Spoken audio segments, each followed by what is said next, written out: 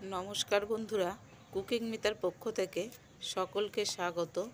আজকের রেসিপি সহজ উপায়ে এবং কম খরচে নারকেলের পুর ভরা পাটিসাপটা প্রথমে আমি পাটিসাপটার জন্য ব্যাটারটা রেডি করে নেব। তার জন্য নিয়েছি এক কাপ সুজি। সুজিটা একটা মিক্সিং জারের মধ্যে ঢেলে নিলাম। এবার দিয়ে দেবো এক কাপ লিকুইড দুধ। দুধ ভালো করে ফুটিয়ে ঠান্ডা করে নিয়েছি। এবার দিয়ে দেবো তিনটে এলাচ দানা। তিনটে এলাচের দানা দেওয়ার পর একটা মিহি পেস্ট তৈরি করে নেব। মিহি পেস্ট তৈরি করে নেওয়া হয়ে গেছে। এবার সুজির পেস্ট একটা বড় বাটির মধ্যে ঢেলে নিলাম। ব্যাটারটা অনেকটাই ঘন। তার জন্য আরও একটু লিকুইড দুধ দিয়ে দেবো। ভালো দিয়ে ভালো করে মিশিয়ে নেব।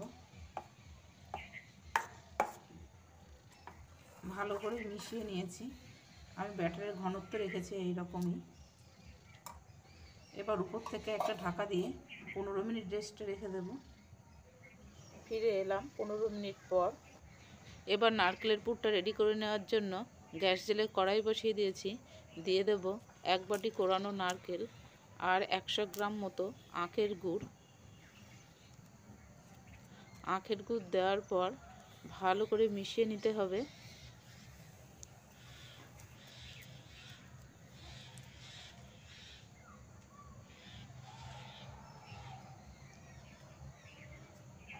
আখের গুড় ভালো করে মিশিয়ে নেওয়া হয়ে গেছে। এবার দিয়ে দেব দু চামচ গুঁড়ো দুধ। গুঁড়ো দুধ দেওয়ার পর আবারও ভালো করে মিশিয়ে নিতে হবে। ভালো করে মিশিয়ে নেওয়া হয়ে গেছে। আমি নারকেলের পুরটা নাড়ুর মতো অতটা পাক দেব না, একটু কম রাখব। প্রায় পুরটা রেডি হয়ে এসেছে।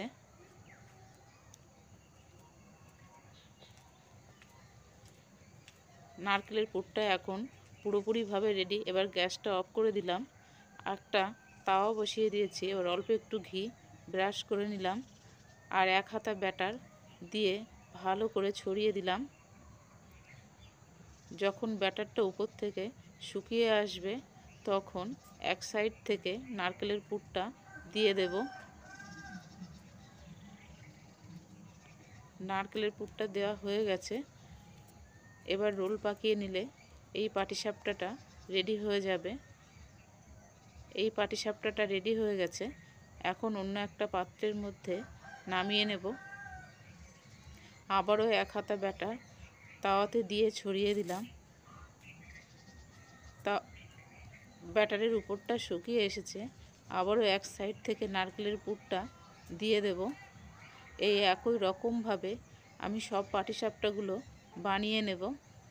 এবার এক সাইড থেকে রোল করে নিলেই রেডি হয়ে যাবে এই পাটিসাপটাটা